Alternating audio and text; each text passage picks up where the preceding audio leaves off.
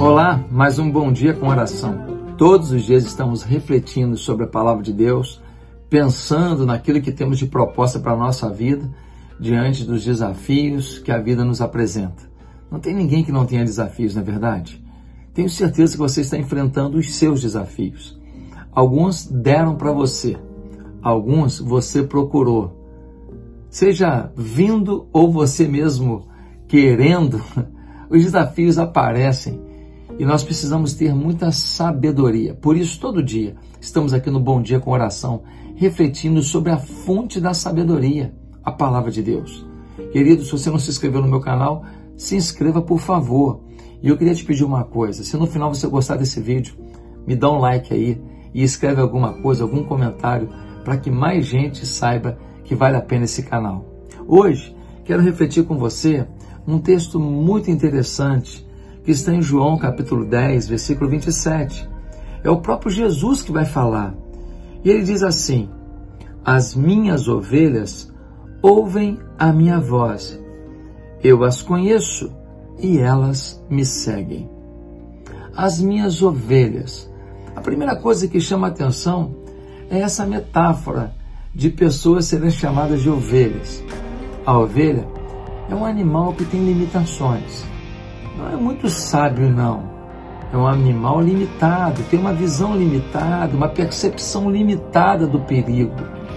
É um animal facilmente é tomado pelas garras de um de uma fera, de um outro animal. Sendo assim, a ovelha precisa de muita atenção do pastor, de muito carinho, de muito cuidado. Ela precisa de orientação, porque senão ela se desvia de onde tem comida, de onde tem água, e ela fica também vulnerável a cair num despenhadeiro ou de ser tragada por uma fera. É mais ou menos isso que a Bíblia quer dizer. Eu e você somos ovelhas. Nós nos achamos bons demais em muita coisa, mas nós não somos tão bons assim em tudo. Nós temos limitações e às vezes não percebemos o perigo que está diante de nós. Não percebemos o risco que está diante de nós. Às vezes o risco não é que tem um despinhadeiro para a gente cair. Às vezes é uma amizade. Às vezes é um relacionamento às vezes é um negócio, às vezes é uma sociedade, às vezes é um passeio, às vezes é uma carona que se dá. E aquela carona pode mudar a sua história, pode mudar o rumo da sua vida. A Bíblia está nos apresentando a possibilidade de refletirmos que Deus é o pastor e nós somos as ovelhas. Ele quer cuidar de nós e nos ajudar a aperfeiçoar os dons e talentos que já temos, para que nós possamos driblar as circunstâncias difíceis e atingir os objetivos exponenciais que estão diante de nós. Agora, ele diz: as ovelhas, as minhas ovelhas ouvem a minha voz. O que Jesus está dizendo? Que existem ovelhas que não são dele. Existem ovelhas que não ouvem a voz dele ouvem a voz de uma religião, ouvem a voz do mundo, ouvem a voz dos seus desejos, ouvem a voz das tentações, ouvem a voz dos artistas que acham que sabem de tudo, ouvem a voz dos apresentadores de televisão, ouvem a voz da mídia, ouvem a voz de um monte de gente que fala muita coisa, mas que difere daquilo que o bom pastor Jesus diz.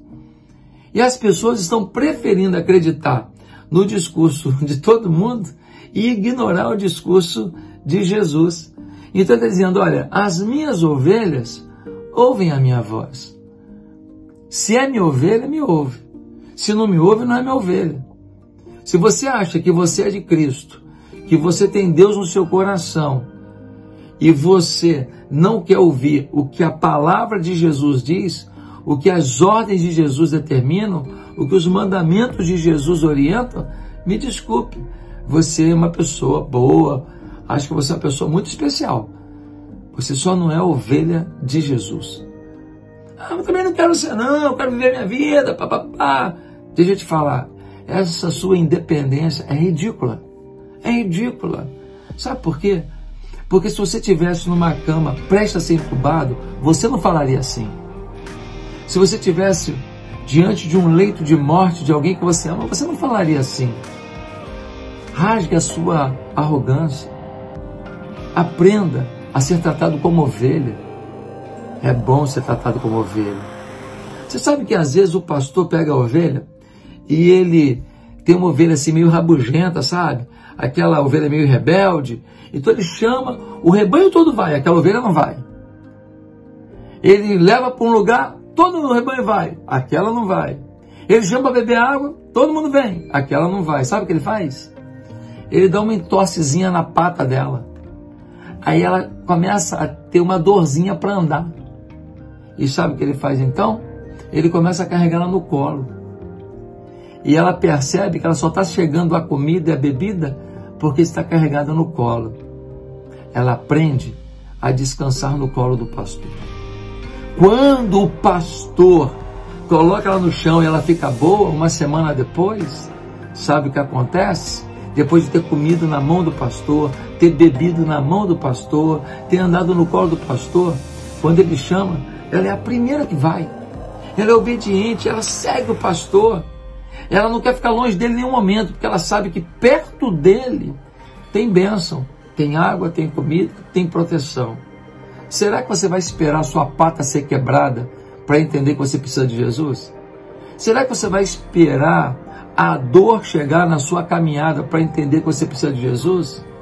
Ah, mas eu acho que eu tenho muita fé, eu acho que eu sou cristão, eu acho que eu sou muito bom. Olha o que diz o versículo 27 de João 10, as minhas ovelhas ouvem a minha voz, eu as conheço e elas me seguem. Você pensa que você engana quem? Jesus sabe se você segue ou não segue. Ele sabe se você é boca para fora ou se é verdade do coração. Ele sabe se você é obediente ou desobediente. E ele diz: Olha, eu as conheço, elas me seguem, elas me seguem, elas me acompanham. Se eu falo, vá para cá, ela vai. Ei, até onde você segue Jesus? Você segue Jesus até onde você quer? Até onde você acha legal? Ou você segue até onde a palavra de Deus te garante que é o certo, que é o jubiloso, que é o glorioso, que é o que vale a pena? Deixa eu te falar uma frase importante. Você precisa viver a vida que vale a pena essa vida que o mundo oferece, tem muita coisa boa, comida boa, lugar bonito, passeio legal, gente bacana, gente interessante, namoro bacana, tem muita coisa bonita. Mas essa vida em que você ignora o pastor e vive para você mesmo, essa vida em que você não ouve a palavra de Deus, não lê a Bíblia, não ora, não busca a Deus, não ouve ninguém, é uma furada. Sai dessa enquanto dá tempo. Que Deus tenha misericórdia da minha e da sua vida. Porque eu e você temos que ser ovelhas do bom pastor. E ele conhece as suas ovelhas e elas o seguem, disse Jesus. Oremos. Senhor, queremos ser ovelhas, queremos ser obedientes, comer na tua mão, beber na tua mão, sermos protegidos pelo Senhor. Ajuda-nos, ó Deus, a compreender que não nos bastamos. Faz algo novo na vida de cada um de nós e que esse dia seja de bênção seja um dia maravilhoso em que a gente encontre na tua palavra, no teu aconchego, a orientação e a sustentação para cada decisão. Em nome de Jesus. Amém. Se você gostou desse vídeo, me dá um ok aí, por favor, e copie esse link e manda para todos os seus contatos. Se você fizer isso, eu consigo falar do amor de Deus, do poder de Deus para mais gente. Você me ajuda? Que Deus te abençoe. Escreve aí uma frasezinha do que você achou do vídeo e até a próxima, porque todo dia é dia de bom dia com oração. Até lá.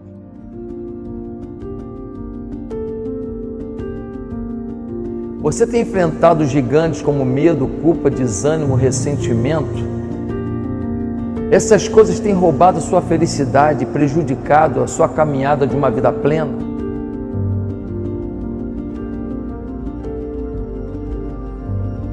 Quer viver uma vida de mais paz, de mais perdão, de mais tranquilidade? Eu quero te ajudar nisso. dessas áreas afeta a sua caminhada e talvez você nem saiba, afeta mais do que você imagina.